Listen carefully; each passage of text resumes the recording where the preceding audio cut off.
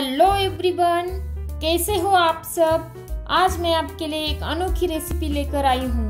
बेसन के लड्डू, रवा लड्डू, मोतीचूर के लड्डू, ये सब लड्डू तो आपने खाए ही होंगे।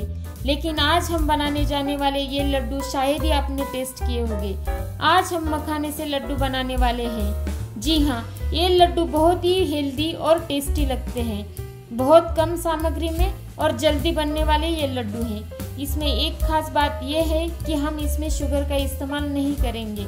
इसलिए ये वाले लड्डू बनाने के लिए आपको शुगर की चाशनी बनाने की भी ज़रूरत नहीं है। तो चलो, शुरू करते हैं आज की ये अनोखी रेसिपी मखाने के लड्डू बनाने के लिए आपको लेना है दो कप मखाने, एक कप बादाम, एक कप काजू 10 से 12 खजूर बीज निकालकर वन फोर्थ कप गुड़ चार बड़े चम्मच घी, आधा चम्मच गोंद के टुकड़े और एक बड़ा चम्मच पॉपी सीड्स।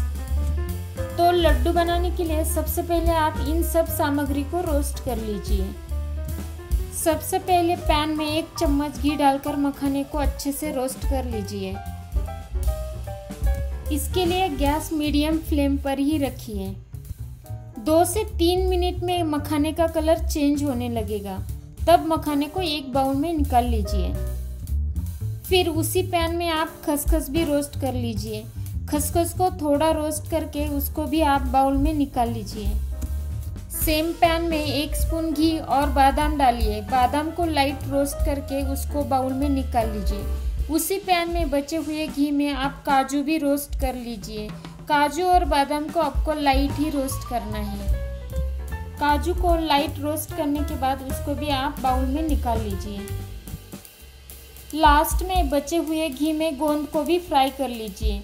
अगर आपके पास गोंद नहीं है तो आप इसको स्किप कर सकते हो। ये बिल्कुल ऑप्शनल है। गोंद के बिना भी ये लड्डू उतने ही टेस्टी लगते हैं।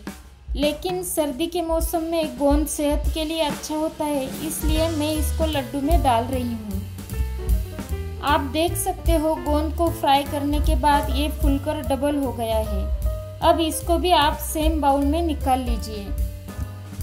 खजूर और गुड़ छोड़कर सब इंग्रेडिएंट्स हमने फ्राई कर लिए हैं। खजूर को ऐसे ही बाउल में डालिए। अब एक बड़ा वाला मिक्सी जार लेकर इन सबको जार में डालिए।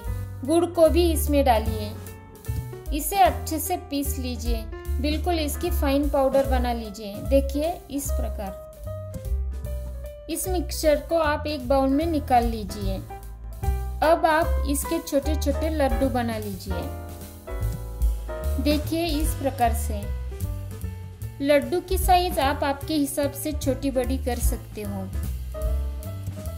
इस प्रकार आप सब लड्डू बना लीजिए। यहाँ पर सब लड्डू बनकर रेडी है। अब मैं आपको एक लड्डू तोड़कर दिखाती हूँ। आप देख सकते हो, ये बहुत ही सॉफ्ट बने हैं और अंदर का टेक्सचर भी देखिए। हम्म देखते ही मुँह में पानी आ रहा है। इसको आप मॉर्निंग ब्रेकफास्ट में लंच और डिनर के बाद as a sweet dish evening tea time पे खा सकते हो। ये बहुत ही हेल्दी लड्डूज हैं। इसलिए इसको आप बच्चों के टिफ़िन बॉक्स में भी दे सकते हो। व्रत में भी खा सकते हो, ऐसे ये लड्डू है। और आप इसको एयर टाइट कंटेनर में दो महीनों तक आराम से स्टोर कर सकते हो। ये जल्दी ख़राब नहीं होंगे। मुझे यकीन है, आज की ये डिश आपको पसंद आई है और आप इसको ज़रूर बनाओगे।